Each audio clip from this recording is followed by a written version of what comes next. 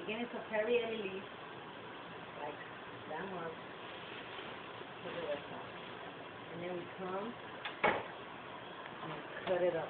You want to cut out as many small pieces as you want. Uh-huh. Grab Perry leaf. Grab it like this. Fold it. And you cut down. You see?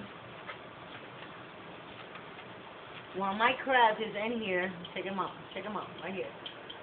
While my crab is boiling there with a little bit of water, I'm gonna cut another leaf. Okay, come back over here. Come back in the Perry. Oh shoot, I got this on, it's gonna burn. I ain't crazy. I'm cutting the leaf off. Right? And then I chop them up a little more. You know, you want to make them as thin as you can. And then you just do more and more and more and cut as many small pieces as you can. You see? This is not the right knife to cut, but like this is my favorite knife.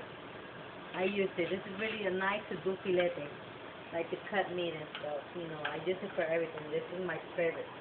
I, I am a crazy moron, but yes, I'm a crazy fool like um Frito. Don't listen to her. She's not.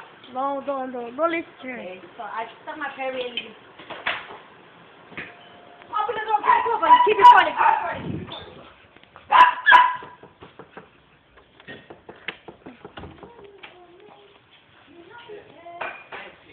Who's there? Who's there? Denise? Oh. Does it matter? Well, keep on. Just you know how to clean them out. Well, And you take a lot, all that thing out. Yeah, I had nigga record me doing it. And we're recording each other singing. That, that's a good idea. That's a está la good basura idea. allá. oiga. Está la basura allá.